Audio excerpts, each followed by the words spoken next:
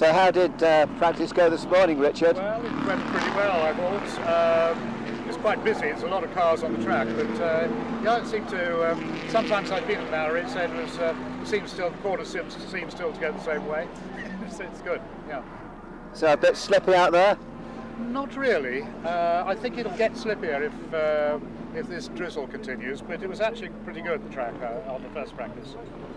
So uh, what's a good time in this car? Do you do? Well. Um, actually, I didn't check it before I came out, so I should be interested to see what uh, how I look. I seem to be going a bit faster this season than I did last, uh, so we'll keep our fingers crossed. And what events are you out in today? I'm out in the first race and the second to last race. The first race is a scratch race, and the second to last is a handicap.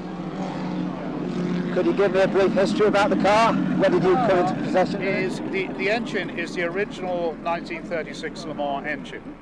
Uh, the Le Mans car was destroyed, and this is a reconstruction of it, uh, because of course Lagonda's won Le Mans in 1935, and so they Fox and Nicoll created this car to win again in 36. The race was cancelled, so it won its won its class in the Belgian Grand Prix, the French Grand Prix, and the TT race in Ireland. So uh, it's uh, they were quite successful cars in their time. So how long have you had it? Uh, I've had it about five or six years, um, probably about six years now. Uh, in fact, I bought it as it was being, uh, as the reconstruction was being built, and I got the original engine and put it in it. So um, uh, I've had it all the time. It's been running.